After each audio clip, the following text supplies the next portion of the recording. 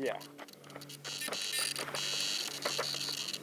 I got to thinking, Larry, you know, you might have tried to call me and I didn't even bring out my cell phone. Yeah. You, got a, you got a message on your home phone and a message on your cell phone.